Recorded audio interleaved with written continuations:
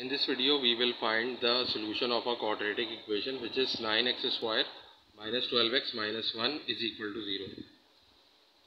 So we will solve this equation by using quadratic formula. So first of all we will write the standard form of quadratic equation which is ax square plus bx plus c is equal to 0. Then we will compare the coefficient of x square.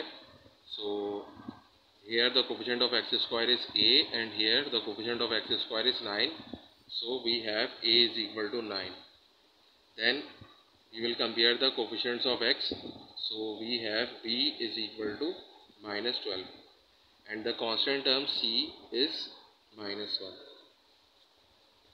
now we will apply quadratic formula which is x is equal to minus b plus minus under root b square minus 4ac upon 2a. Now we will put the value of values of a, b and c in this formula. So we have x is equal to minus times minus 12 plus minus under root minus 12 square minus 4 times 9 times minus 1 upon 2a. The value of a is 9 so we have 2 times 9 in the denominator now after that we have minus times minus 12 is equal to 12 plus minus under root. Square of minus 12 is 144 and minus minus plus 4 times 9 times 1 is 36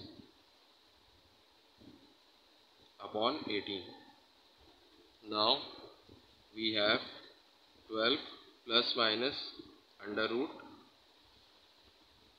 now we will add 144 and 36 so we have 180 in the square root.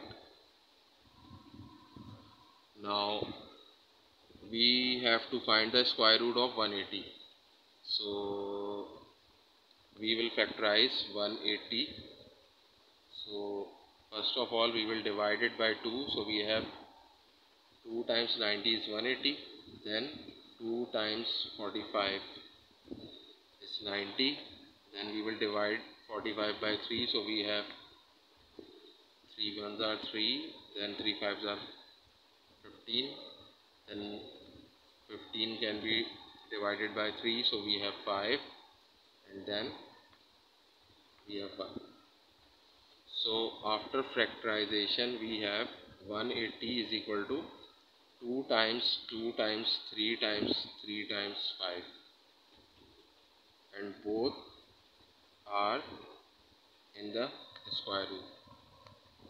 Now 2 times 2 is 2 square and 3 times 3 is 3 square. Multiply by 5 under root.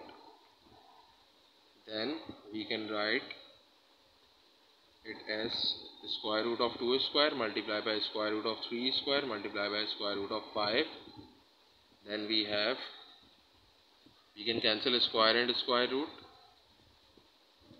so we have 2 multiplied by 3 multiplied by under root 5 and this can be simplified as 6 under root 5. Now we will put 6 under root 5 in place of square root of 180. So we have x is equal to 12 plus minus 6 under root 5 upon 18. Now we have two values of x. One is with plus sign and the other is with the negative sign.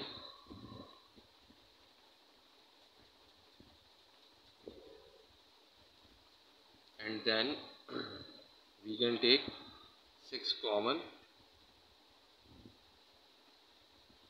So we have 2 plus under root 5 upon 18 and here again we will take 6 common. So we have 2 minus under root 5 in the bracket over 18 now 6 1s are 6 6 3s are 18 6 1s are 6 6 3s are 18 so the value of x is 2 plus under root 5 over 3 and the second value of x is 2 minus under root 5 over 3